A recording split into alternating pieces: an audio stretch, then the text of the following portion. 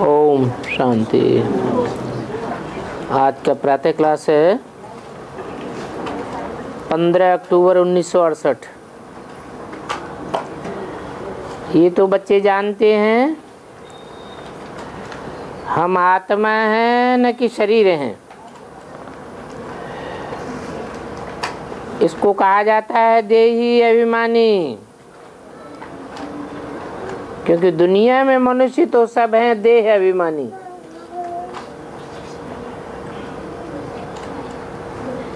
देह अभिमानी होने के कारण ये पाप आत्माओं की दुनिया है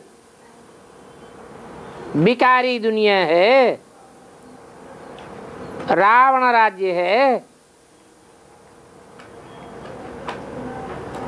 सत्युग तो पास्ट हो गया। वहाँ सभी निर्विकारी रहते थे। बच्चे जानते हैं, हम भी पवित्र निर्विकारी देवताएँ थे, जो चौरासी जन्मों के बाद आकर पतित बने हैं।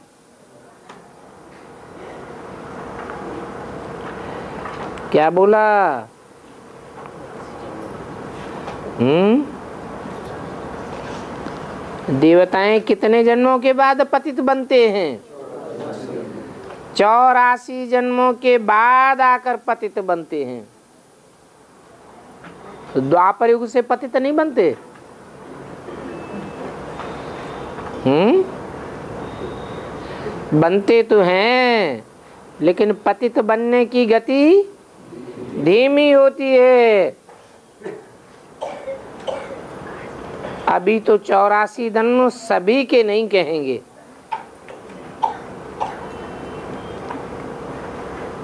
सभी माने? और दूसरे धर्म वाले जो आत्माएँ हैं, और और धर्मों में कन्वर्ट होते हैं, उन सब के चौरासी जन्म नहीं कहेंगे। भारतवासी ही देवी देवताएँ थे। जिन्होंने चौरासी, तिरासी अथवा बयासी जन्म लिए, वो पहले पतित बने। भारत की ही बात है। चीन व अमेरिका वाले तो देवी देवता नहीं थे। भारत ही अविनाशी खंड गाया हुआ है। क्यों? भारत अविनाशी खंड क्यों गाया हुआ है? हाँ भारत में भगवान आते हैं। और जहाँ भगवान आते हैं, वहाँ अखंड पृथ्वी रहती है। जब भारत में लक्ष्मी नारायण का राज्य था तो इसको नई दुनिया, नया भारत कहा जाता था। अभी तो पुरानी दुनिया, पुराना भारत। वो संपूर्ण निर्विकारी थे। उनमें कोई भी विकार नहीं था। वो ही देवताएँ चौरासी जन्म लेकर अभी पतित बने। पतित मनुष्यों को कहा जाता है कामी कुत्ता।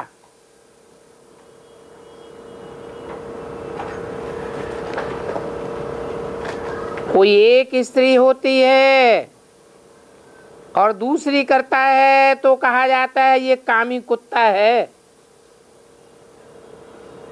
रात दिन विकार में ही फंसा रहता है। तो ये है काम का भूत। इच्छा पूर्ति न होने से फिर क्रोध आता है। तो कहा जाता है कामेश क्रोधेश लोभ और मोह के भी भूत हैं। ये सभी कड़े भूत हैं। और इन सभी भूतों में मुख्य है देह अभिमान का भूत। क्योंकि रावण राज्य है ना रावण का चित्र? और राम के चित्र में क्या फ़र्क दिखाते हैं? है? रावण का जो चित्र बनाते हैं, बहुत बड़ा बनाते हैं। और राम का चित्र छोटा बनाते हैं। क्यों? क्या दिखाने के लिए? कि रावण में देवान बहुत है और राम आत्मिक स्थिति वाला है। ये रावण है भारत का आधा कल्प का दुश्मन। मनुष्य में पाँच विकार प्रवेश करते हैं। इन देवताओं में तो ये भूत नहीं थे। फिर पुनर्जन्म लेते लेते इन्हों की आत्मा में भी विकार आ गए। तुम जानते हो, जब हम देवताएँ थे तो कोई भी विकार का भूत नहीं था। सत्य को त्रेता को ही कहा जाता है राम राज्य क्यों? शास्त्रों में तो त्रेता को राम राज्य कहा है। सत्यु को कहा कहा बाबा सत्यु को क्यों कह देते हैं राम राज्य? क्योंकि सतयुग में भी जो राज्य की स्थापना होती है, उसमें निमित्त राम वाली आत्मा ही बनती है। द्वापर कलयुग को कहा जाता है रावण राज्य। उसको अनेक सिर दिखाते हैं। एक धर्म, एक राज्य, एक कुल, एक मत की स्थापना राम राज्य। और अनेक धर्म अनेक धर्म पिताएँ अनेक कुल, अनेक राज्य, अनेक मतें। कहेंगे रावण राज्य। वास्तव में पाँच विकार स्त्री में और पाँच विकार पुरुष में है।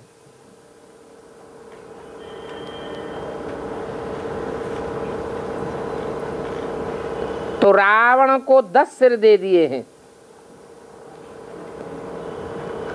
विकारों की शुरुआत कहाँ से होती है?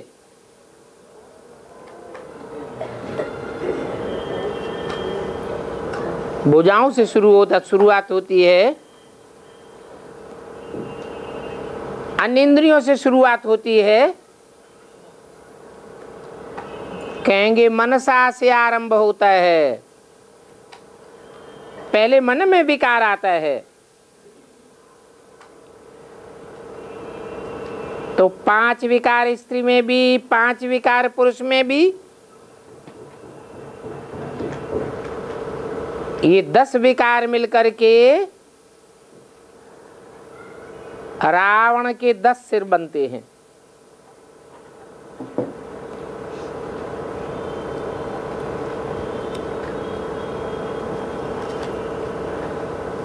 जाड़ के चित्र में देखेंगे। पाँच धर्म हैं भारतीय धर्म। पाँच हैं विदेशी धर्म। लेफ्टिस्ट। राइटियस को कहेंगे भारतीय। विकार तो सभी में है। विष्णु को चार भुजाएँ दिखाती हैं। उनको चार सिर नहीं दिखावेंगे। और रावण को दस सिर दिखाते हैं। मना विष्णु के रूप में परिपूर्ण बनने वाली आत्माएँ कोई भी अच्छे कार्य में सहयोगी बनेंगी। अकल नहीं चलावेंगी। ईश्वरीय कार्य में भी सहयोगी बनेंगी, अकल नहीं चलावेंगी। क्योंकि एक बार मान लिया ना, ये ईश्वर का रूप है। तो रावण को मुख दिखाते हैं,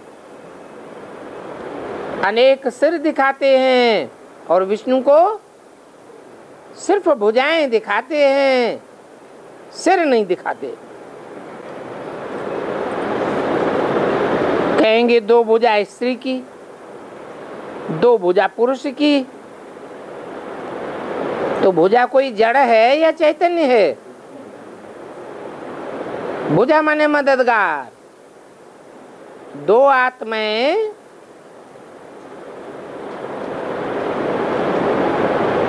सतयुग की लक्ष्मी और संगम युग में बनने वाली नारी से लक्ष्मी, दोनों के संस्कार मिलते हैं तो दो भुजाएँ कही जाती हैं। फिर दो भुजा पुरुष की संगम युगी नारायण और सतयुगी नारायण। चारों को मिलाकर के विष्णु चतुर्भुज कहा जाता है।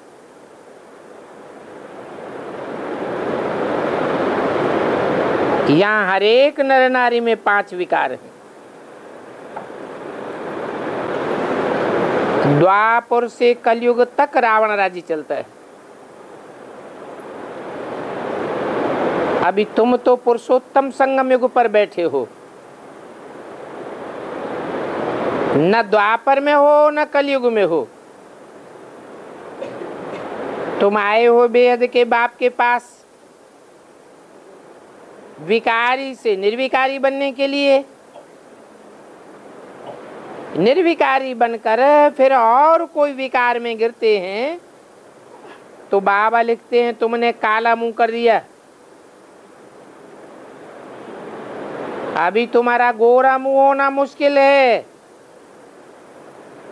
जैसे कोई पाँच मार से गिर जाते हैं तो हड्ड गुड्ड टूट जाती है। गीता में भी भगवान वाच है। काम महाशत्रु है। वास्तव में भारत का एक ही धर्म शास्त्र है गीता। और हर एक धर्म का एक ही शास्त्र होता है। परंतु भारतवासियों ने ढेर शास्त्रों को अपना लिया है। इसको कहा जाता है भक्ति। बुद्धि अनेक शास्त्रों में भ्रमित करती है, होती रहती है। आधा कल्प भक्ति चलती है। भक्ति करते करते नीचे ही उतरते जाते हैं। नीचे क्यों उतरते हैं? क्योंकि बुद्धि एक के पीछे नहीं भागती है। अनेक शास्त्रों ने अनेक उनके लिखने वाले सबको बुद्धि फॉलो करती है। दुनिया पुरानी होती जाती है तमो प्रधान बनती जाती है। नई दुनिया को कहा जाता है सतो प्रधान क्यों? पुरानी दुनिया को कहा जाता है तमो प्रधान। क्यों? सत्य एक है। उससे सात्विकता आती है। और झूठ अनेक प्रकार का होता है। उससे झूठ खंड बनता है। तामस आता है। तामसी दुनिया बनती है। सतो प्रधान को कहेंगे गोल्डन एज कोई खाद की मिक्सचरिटी नहीं। तो वहाँ कोई भी प्रकार का लड़ाई झगड़ा आदि भी नहीं होता। आयु बड़ी होती है अवर हेल्दी अवर वेल्दी। अभी तुमको स्मृति आई है कि हम देवताएँ जो एक की मत पर चलने वाले थे तो बहुत सुखी थे। वहाँ अकाले मृत्यु भी कभी नहीं होता। मौत भी समय पर आती है। और स्वेच्छा पूर्वक आती है। वहाँ काल का कोई भी डर नहीं रहता। वहाँ हेल्थ वेल्थ हैप्पीनेस सभी प्रकार का सुख होता है। नरक में हैप्पीनेस होती नहीं। कुछ न कुछ शरीर का दुख लगा ही रहता है।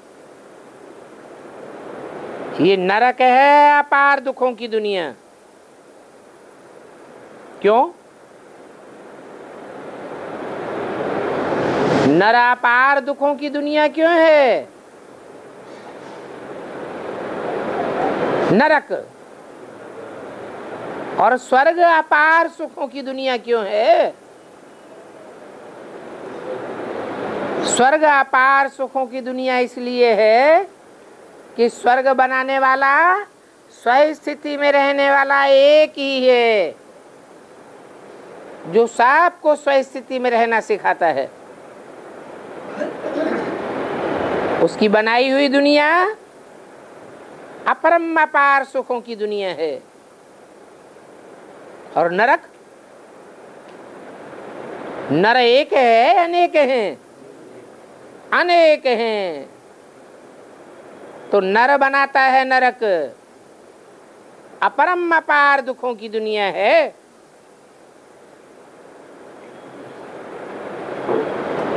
सतयुग है, अपार सुखों की दुनिया।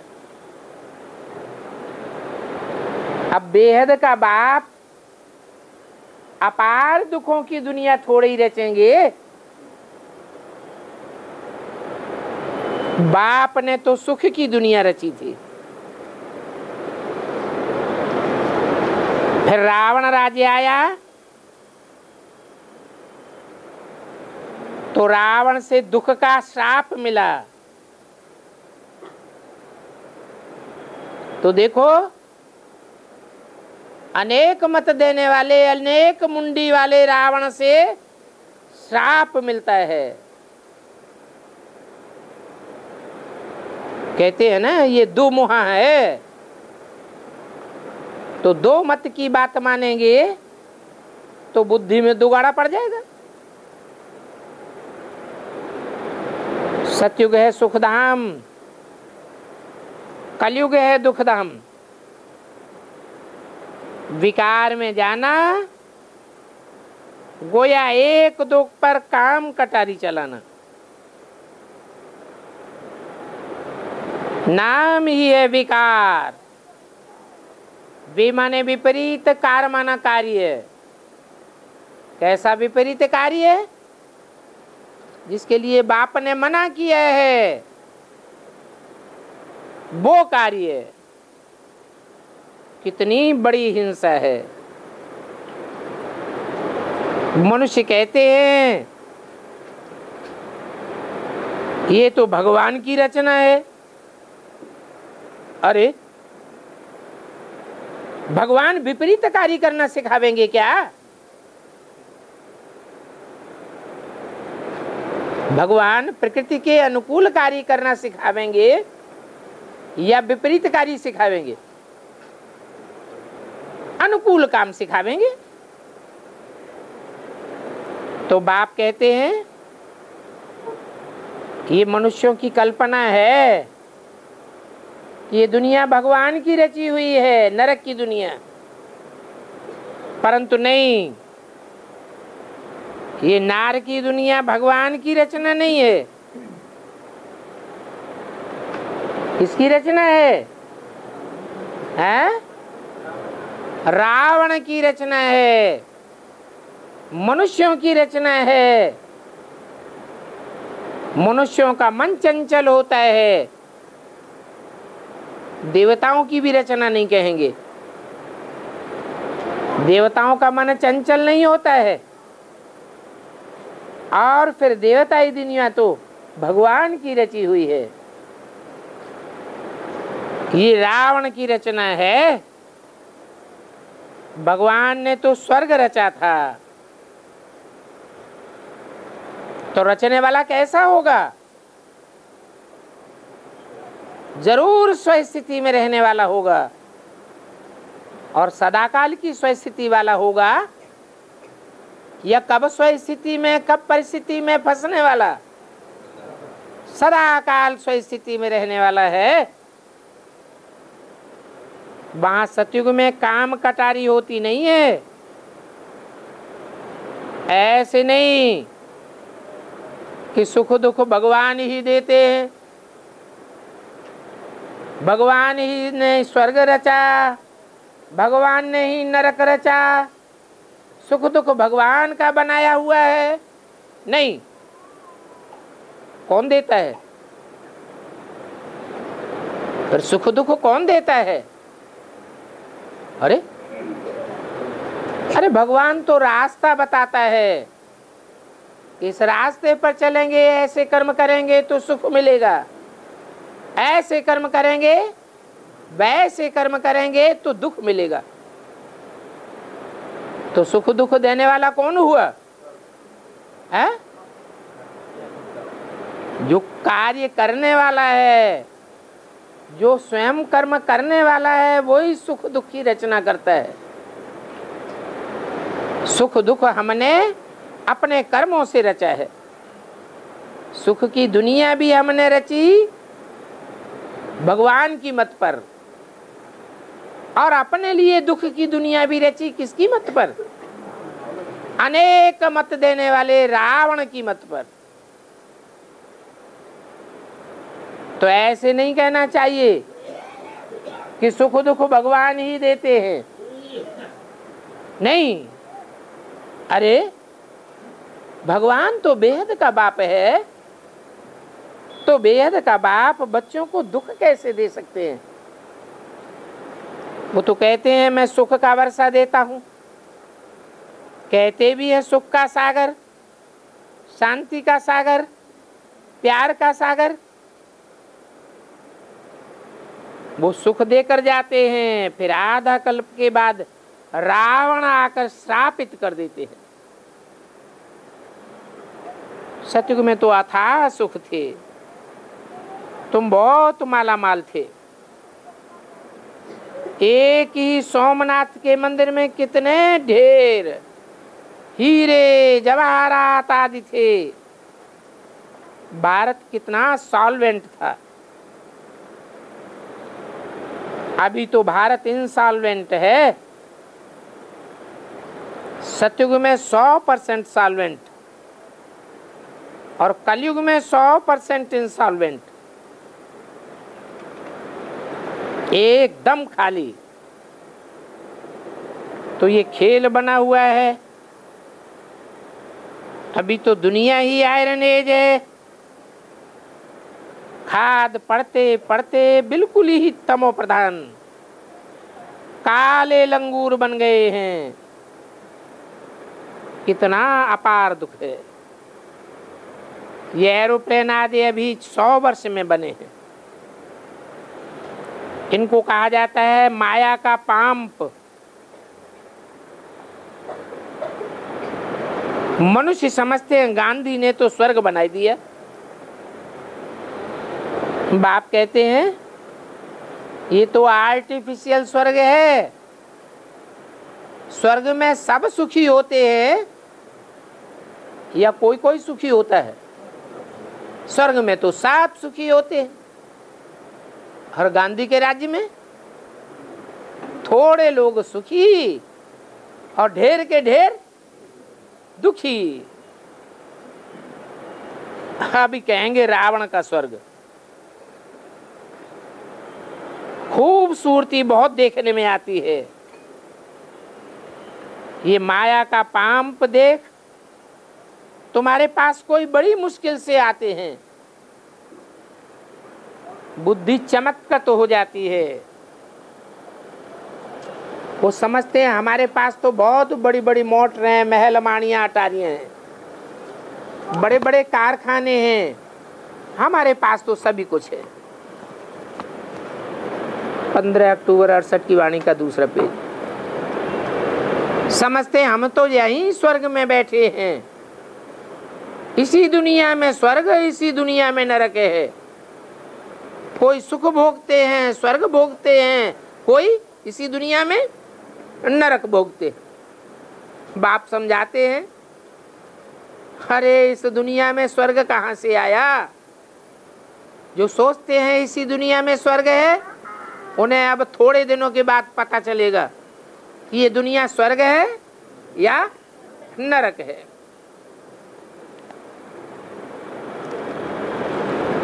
सत्य को कहा जाता है स्वर्ग, जबकि इन लक्ष्मी नारायण का राज्य था। अभी इनका राज्य थोड़े ही है। हाँ कलयुग के बाद फिर इनका राज्य होगा। पहले भारत बहुत छोटा था। नई दुनिया में होते ही है नौ लाख देवताएँ बस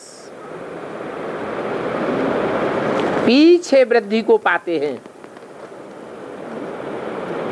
मनुष्य सृष्टि वृद्धि को पाती रहती है ना? पहले सिर्फ़ इस दुनिया में देवी देवताएँ ही थे। कितने कला संपूर्ण? सोलह कला संपूर्ण। बाद में बाद में कलाएँ कम हो गई। तो जिनकी कलाएँ कम हो गई, वो देवताएँ थोड़े ही हुए। वो तो खंडित देवताएँ हो गए। अखंड देवताएँ नहीं है। देवी देवता सनातन धर्म के पक्के नहीं है।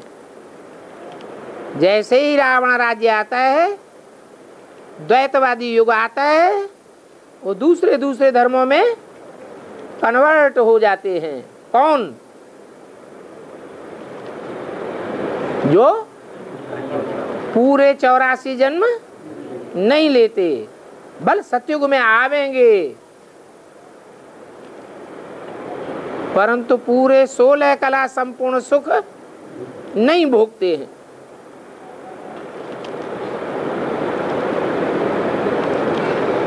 पहले पहले तो सिर्फ़ देवी देवताएँ ही थे। तो असल देवी देवताओं की संख्या कितनी हुई? है? ज़्यादा से ज़्यादा कितनी के? हैं? नौ लाख। तो बेहद का बाप, ये वर्ल्ड की हिस्ट्री जोग्राफी बैठ समझाते हैं। बाप बिगर और तो कोई बता ही नहीं सकता।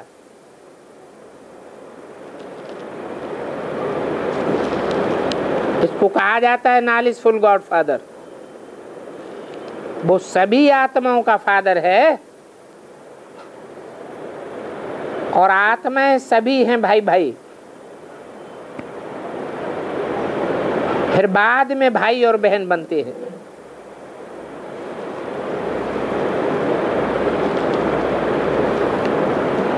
सभी आत्माओं का फादर है। तो आत्माओं की लिस्ट में सिर्फ़ मनुष्य ही आते हैं क्या? पशु, पक्षी, कीड़े, मकोड़े नहीं आते? हैं? आते हैं। वो आत्माभिमानी बनेंगे? बनेंगे? फिर कहा आत्मा की लिस्ट में आए? तुम बच्चे सौ परसेंट आत्मिक स्थिति प्राप्त करते हो। और तो कोई सौ परसेंट आत्मिक स्थिति में स्थित नहीं हो पाते, प्रैक्टिस ही नहीं करते। भगवान की बताई हुई बात पर ध्यान ही नहीं देते। तो बेहद का बाप है तो बेहद का बाप। सिर्फ़ मनुष्यों का बाप है। या कीट पशु पक्षी पतंगे सब आत्माओं का बाप है, है?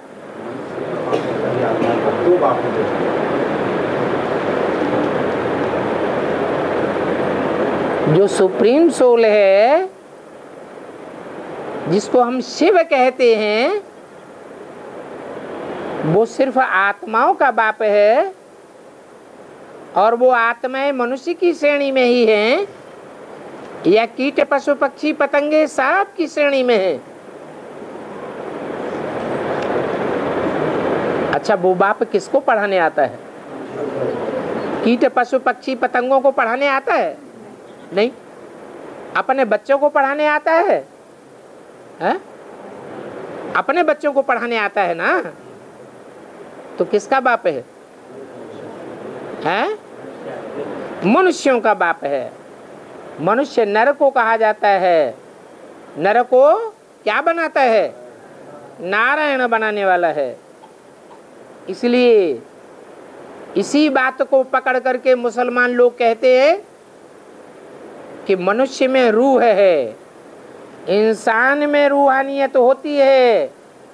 जो पशु पक्षी पतंगे हैं, उनमें रूह नहीं होती, इसलिए हम उनको काट पीट के खाते हैं।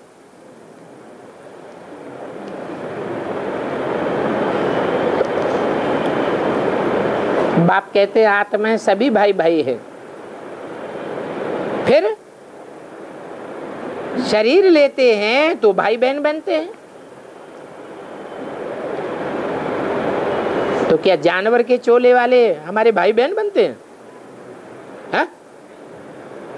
जो जानवर की चोले वाली आत्माएँ हैं, वो हमारे भाई बहन है क्या? भाई बहन थोड़े ही कहेंगे। तुम सभी हो प्रजापिता ब्रह्मा के एडाप्टेड चिल्ड्रंस प्रजापिता ब्रह्मा मनुष्य है ना? 500 700 करोड़ मनुष्यों का बाप है। सभी आत्माएँ इनकी संतान तो है नहीं।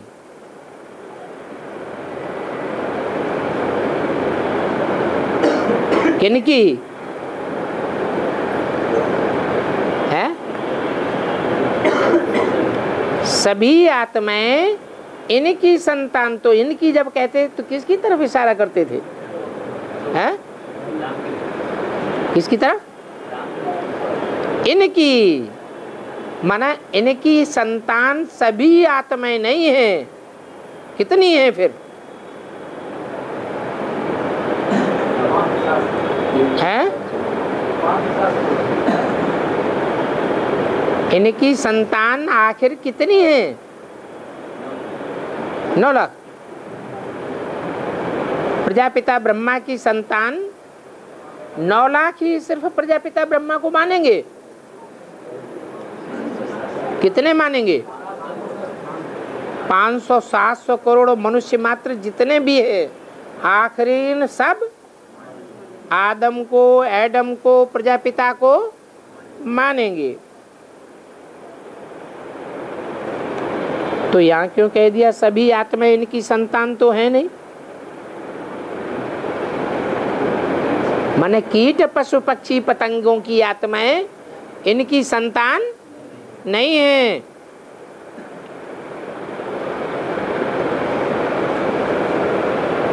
उनको कहा जाता है परम पिता। उनका नाम है शिव। बस। शिव अर्थात कल्याणकारी। सबका कल्याण करते हैं। कौन? प्रजापिता ब्रह्मा या शिव? शिव आते हैं तो सिर्फ़ मनुष्यों का ही कल्याण होता है, या कीट, पशु, पक्षी, पतंगों सबका कल्याण होता है। सबका कल्याण होता है। बाप समझाते हैं मेरा तो एक ही नाम है। असल। क्या? शिव। फिर भक्ति मार्ग में मनुष्यों ने तो बहुत मंदिर बनाए दिए हैं। और उन मंदिरों के नाम भी अनेक अनेक रख दिए हैं।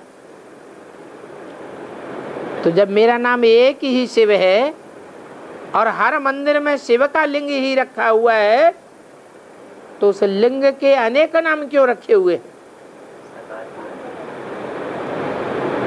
क्योंकि शिव ने जिस साकार में प्रवेश किया हुआ है, वो अनेक प्रकार के कार्य करता है।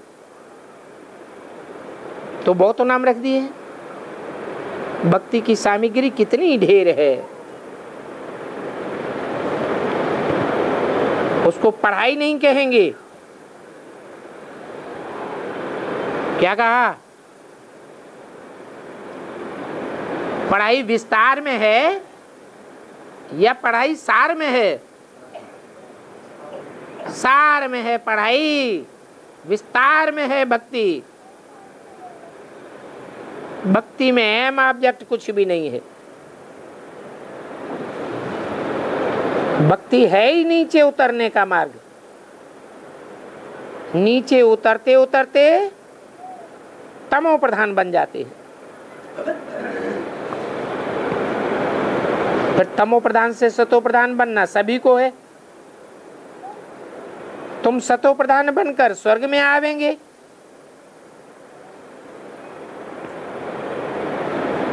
तुम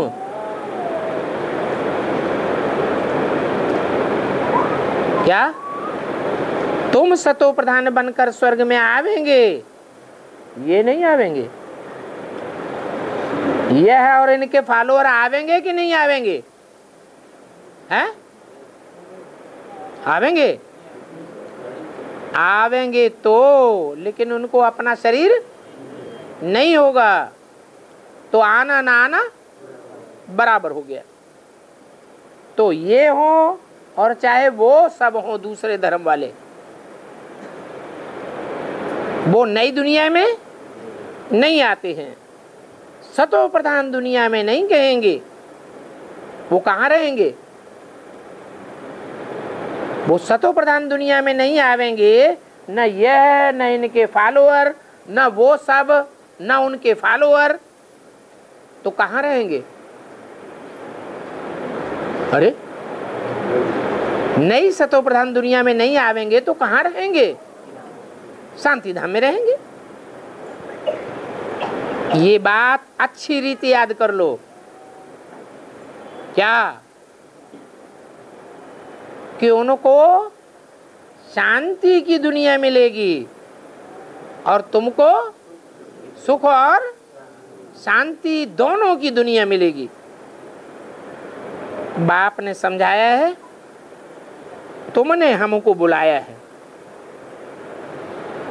क्या कहा? न इनने बुलाया है। इसने भी नहीं बुलाया है। इसके फॉलोअर्स ने भी नहीं बुलाया है। बुलाया है? अभी शूटिंग कर रहे हैं बुलाने की? है? तुम पतित से पावन बनते हो तो तुम बुलाते भी हो। इसलिए मुरली में बोला है जो पतित से पावन बनते हैं, वो मुझे बुलाते हैं। जो पतित से पावन बनते नहीं, वो मेरे को बुलाते भी नहीं। तो अभी शूटिंग कर रहे होंगे कि नहीं? क्या? जो पतित से पावन जिन्हें बनना होता है, उनको आस लगी रहती है, बाबा, जल्दी आओ। और जिनको पतित से पावन नहीं बनना है, वो वो नहीं बुलाते। तो बोला, वो किसको बुलाते होंगे? वो किसको बुलाएँगे? अरे बुलाते होंगे किसी को कि नहीं? है? हाँ कोई दादी को याद कर रहा होगा, कोई दादा को याद कर रहा होगा। हमारी दादी कोई के तन में आ जावे, हमारा ब्रह्मा कोई के तन में आ जावे, दादा कोई के तन में आ जावे। जो जिस धर्म का होगा, वो उसी को फॉलो करेगा ना, उसी का पीछा करेगा ना? कि दूसरे का पीछा करेगा? उसी का करेगा। तो देखो, तुमने हमको बुलाया है। बाबा, हम पतितों को आकर के पावन बनाओ। क्या? हम पुरुषार्थ करते करते अब थक गए। अब हमारे से होता नहीं है। तो क्या करो? आप ही तरस पर हो आकर के पावन बनाओ तो अब मैं तेरे बहाने सर्व का भला। बुलाते तो तुम हो, लेकिन तुम्हारे बुलाने पर मैं आता तो हूँ। लेकिन ऐसे नहीं कि तुम्हारा ही कल्याण करता हूँ। तुम्हारे बहाने सारी दुनिया का भला हो जाता है। सारी दुनिया को पावन बनाने आया हूँ। पावन बना करके ही ले जाऊँगा। मनुष्य समझते हैं कि गंगा स्नान से हम पावन बन जाएँगे कौन मनुष्य समझते हैं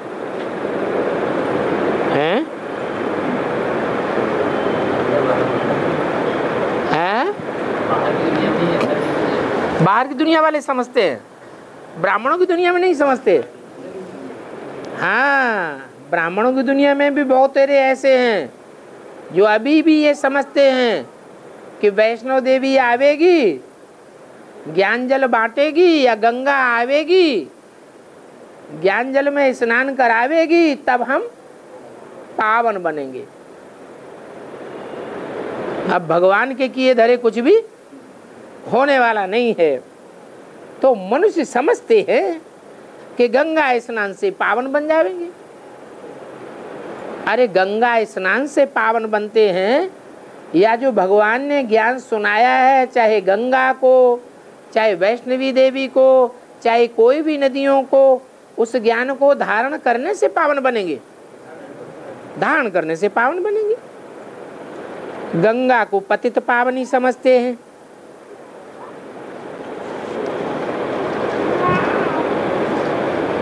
कुएँ पर भी पानी निकलता है। उनको भी गंगा का पानी समझ, स्नान करते।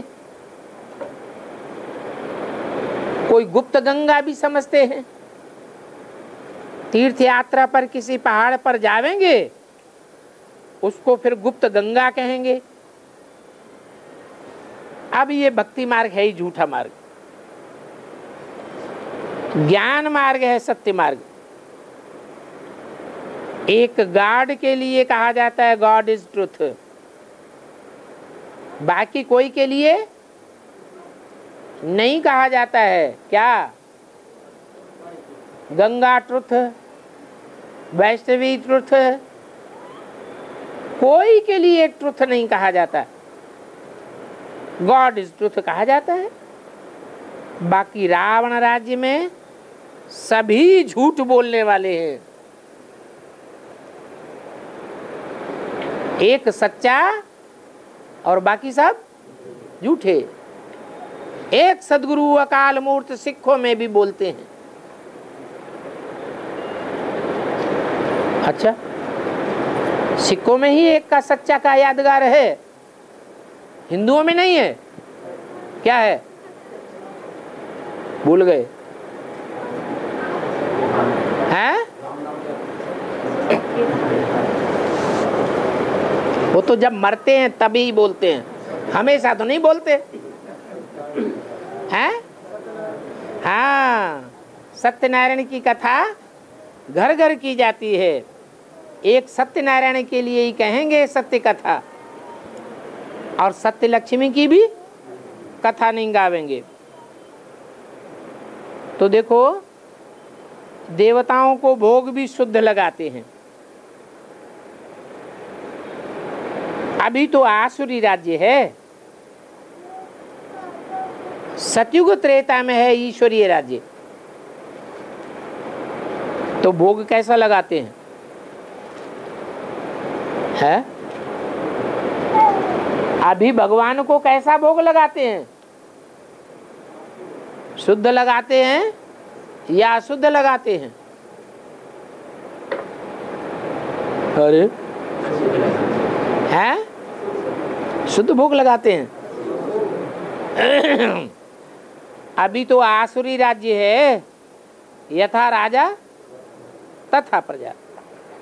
सत्युग त्रेता में है ईश्वरीय राज्य। वो ईश्वरीय राज्य अभी स्थापन हो रहा है। ईश्वर आकर के सभी को पावन बनाते हैं।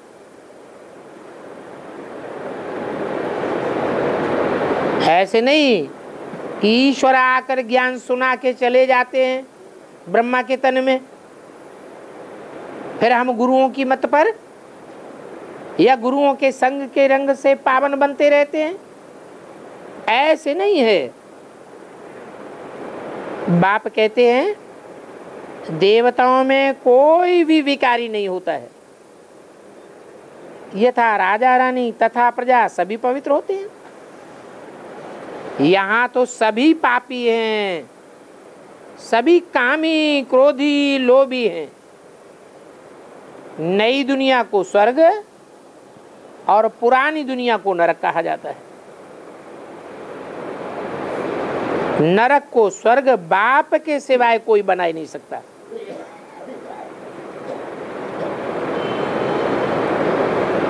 कोई बना सकता हो तो बताए। एक ही बाप है देवी देवता सनातन धर्म की स्थापना करने वाला, जो नरक को स्वर्ग बनाते हैं।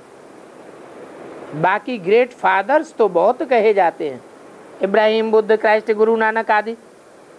परंतु नरक को स्वर्ग कोई भी नहीं बनाते हैं।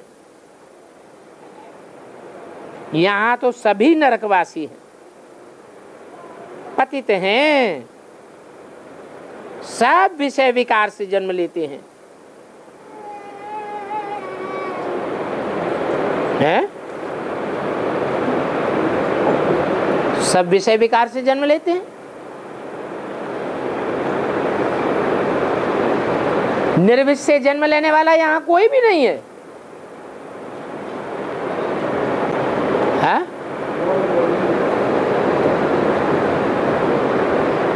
अरे ब्रह्मा से जो ब्राह्मण पैदा होते हैं, सब कुखवंशावली हैं क्या?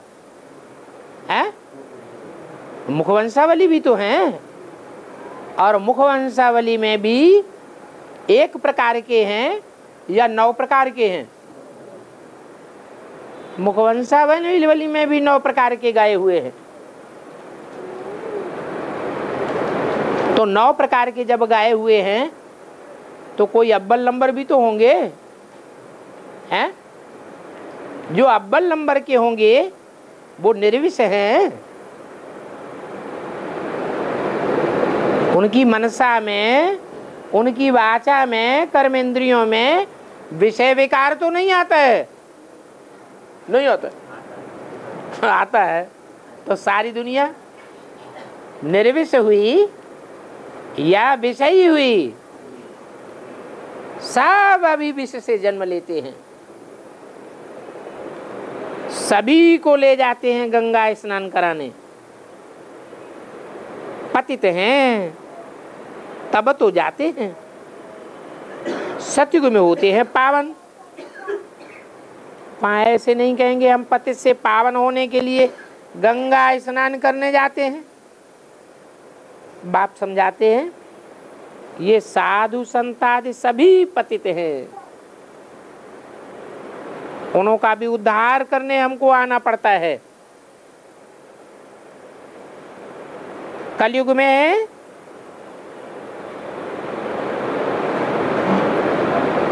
इन्होंने लिख दिया है साढ़े चार सौ करोड़।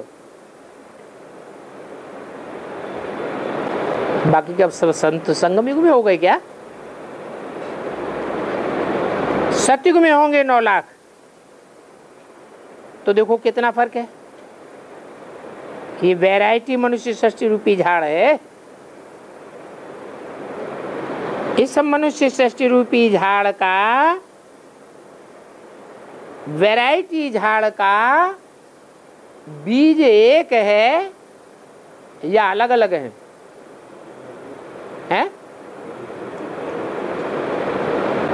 वैरायटी मनुष्य झाड़ का बीज तो एक ही है। वो बीज रूप है भगवान। कौन सा भगवान? सिंगल भगवान या भगवान भगवती कहा जाने वाला भगवान? है? कौन है बीज मनुष्य सृष्टि रूपी झाड़ का? भगवान भगवती कहा जाने वाला भगवान वो बीज है। जो सिंगल है, वो कौन है? एक शिव भगवान। उसको वैरायटी मनुष्य सृष्टि रूपी झाड़ का बीज नहीं कहेंगे।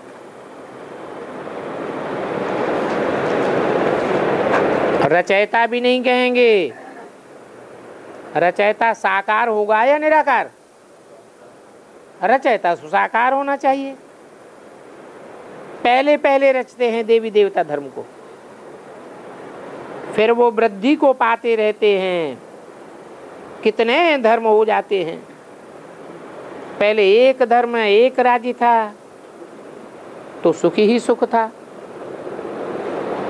मनुष्य चाहते भी हैं विश्व में शांति हो।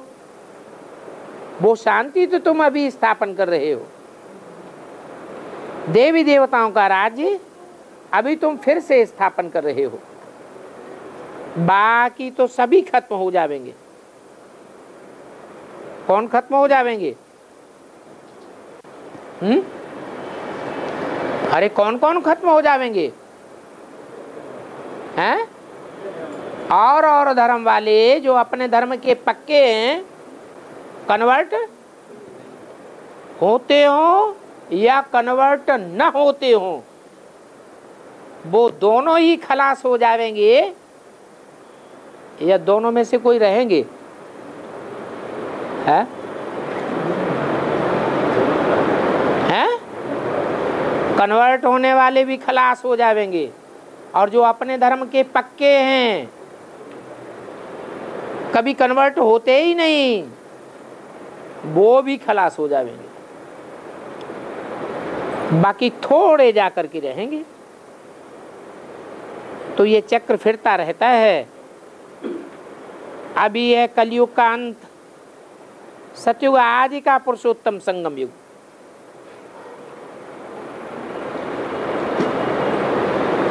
इसको कहा जाता है कल्याणकारी युग। कलयुग के बाद सतयुग स्थापन हो रहा है। तुम संगम युग पर पढ़ते हो, इसका फल फिर सतयुग में मिलेगा। कौन से सतयुग में?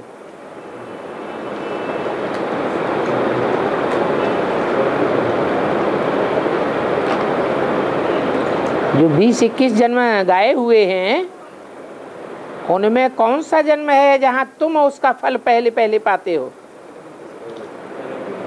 स्वर्णिम संगम युगी। सतयुग में तुम उसका फल पाते हो। ऐसी पढ़ाई तो कहीं भी होती नहीं है। तुमको इस पढ़ाई का सुख नई दुनिया में मिलेगा। यहाँ जितना पवित्र बनेंगे, पढ़ेंगे, उतना ही ऊंच पद पावेंगे। अगर कोई भी भूत रह जाएगा तो एक तो सजा खानी पड़ेगी। और दूसरा फिर वहाँ जाकर के कम पद पावेंगे। क्या कहा? भूत किसमें आवेंगे? है? डेढ़ लाख में। है? नहीं, देवान में तो आवेंगे। देवानी तो अभी सभी है, आत्माभिमानी पक्के कोई है क्या? है? तो भूत जो हैं वो अंत तक किसमें आते रहेंगे?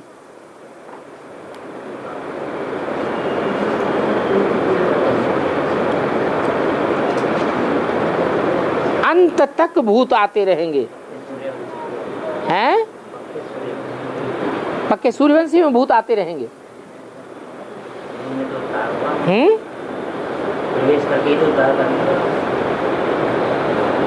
पक्के जो सूर्यवंशी होंगे, उनमें भूत आते रहेंगे। यहाँ जितना पवित्र बनेंगे, उतना ऊंच पद पावेंगे। अगर कोई भूत होगा तो सजा खानी पड़ेगी, वहाँ पद कम हो जाएगा।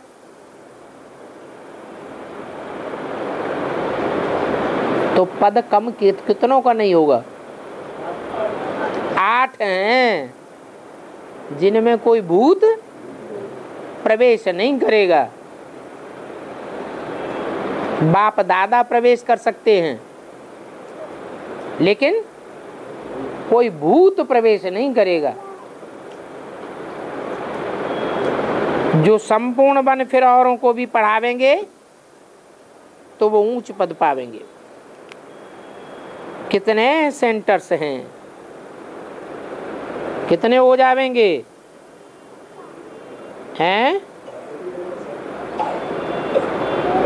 अभी कितने सेंटर्स हैं? फिर कितने हो जाएँगे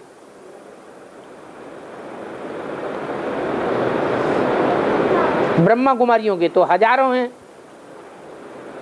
कि लाखों हैं हैं? हज़ारों हैं। और तुम्हारे कितने सेंटर्स हो जाएँगे, हैं? लाखों की तादाद में हो जाएँगे। सारे भारत में खुलते जाएँगे। पाप आत्मा से पुण्यात्मा बनना, ये है बनाना, ये है तुम्हारी एम ऑब्जेक्ट पढ़ाने वाला एक ही शिव बाबा है। और वो है नालिस फुल ज्ञान का सागर, सुख का सागर, वो ही आकर के पढ़ाते हैं। ऐसे नहीं समझो कि ये पढ़ाते हैं। कौन पढ़ाते हैं? ज्ञान का सागर और सुख का सागर आकर के पढ़ाते हैं। कहाँ से आकर पढ़ाते हैं? माने अभी नहीं आए हैं, जब ये मुरली चल रही थी। हैं? आ गए? वो ज्ञान का सागर, सुख का सागर रूप कहा जा सकता है? फिर उसकी पूजा होनी चाहिए। ब्रह्मा की न पूजा होती है, न मंदिर बनते हैं, न मूर्तियाँ बनती है। तो सुख का सागर कैसे हुआ? तो बाप ही आकर के पढ़ाते हैं, यह नहीं पढ़ाते हैं। इनमें आकर वो पढ़ाते हैं। इनको कहा जाता है भगवान का रथ। किनको? राम और कृष्ण को कहा जाता है भगवान का रथ। तुमको कितना पदमा पदम भाग्यशाली बनाते हैं। तुम तो बहुत साहूकार बनते हो। ओम शांति।